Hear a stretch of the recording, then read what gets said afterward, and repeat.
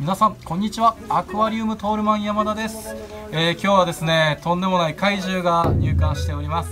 その名もブラキッシュ、えー、フロックフィッシュっていうね、ま、その名前の通り淡水カエルアンコウのね個体が入ってきております。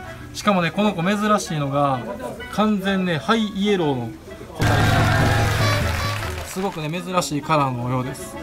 お値段はすごくするんですけどこの歩いてる感じ超可愛くないですか？いやたまらないなこれは。これはもう売れなくてもトールマンのペットになる感じでしょうね。はいもう山田の独断と偏見で入れさせていただきました。あなんか角の方で落ち着いてしまった。隠れたいんでしょうね。僕もよくこの部屋の角でね三角座りしてるんで同じような感じですね。はい以上トールマン山田でした。えー、ここからは山田に変わりまして私トールマン篠藤がお送りさせていただきます。皆様はじめまして。はじめましてかな？えー、今回この子の飼い主様が決まりまして、えー、飼い主様の方から YouTube でお名前をこの子の名前を募集してほしいということでえー、動画を作成させていただきました。いやーかわいいですね。魚を飼ってるというよりも何か犬猫を飼ってるようなそんな面持ちですね。顎のトゲなんかもすごい特徴的で。はい。えー、お名前の方は、えー、コメント欄の方に書いていただけたらと思います、えー、これからちょっとこの子の普段の行動なんかをどんどん見せていきたいのでそんなんもちょっと参考にしながら一緒に考えていただけたらもう完全に歩いてますもんね。もうだんだん足と手に見えてくるこの感じ。あこれは決定的瞬間ですよ。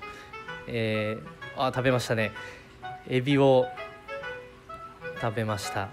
どちらかといえば食べるというか吸い込むような感じで食べてますね。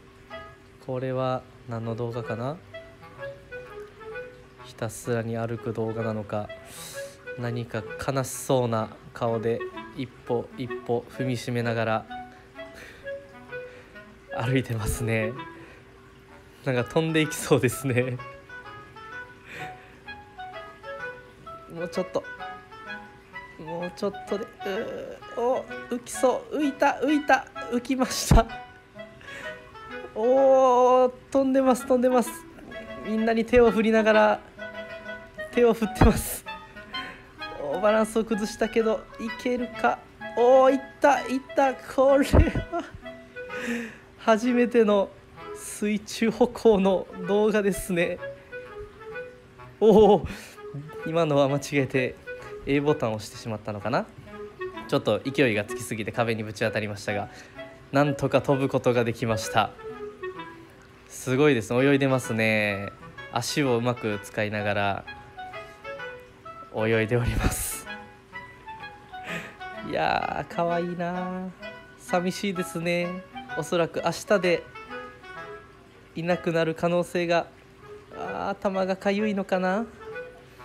うん。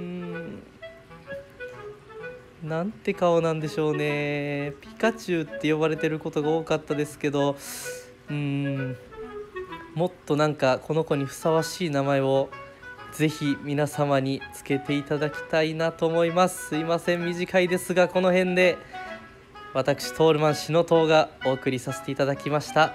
バイバイ。